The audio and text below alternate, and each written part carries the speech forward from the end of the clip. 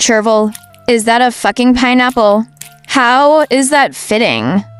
Jesus Christ, come on, Chervil, can you stop submitting to these temptations?